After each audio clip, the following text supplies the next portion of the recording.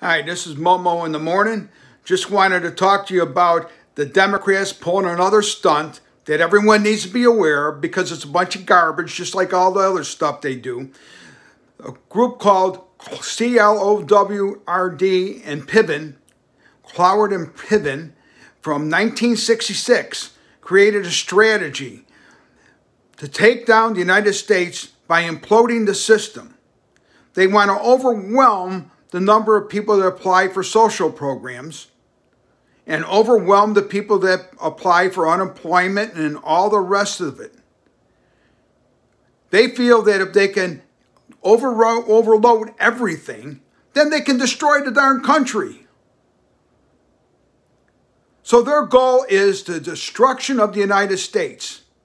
And why? So that the socialists can take over again, because out of the dust will rise the socialist.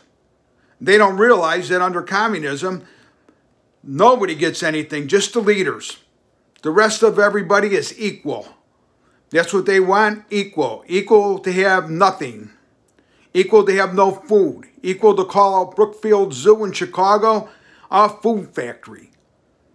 This is nuts. Remember, Cloward and Piven.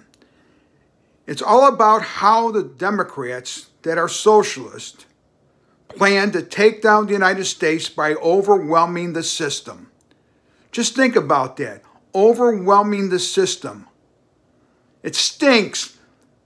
These socialists got to go. Marie Newman, AOC, they're all the same.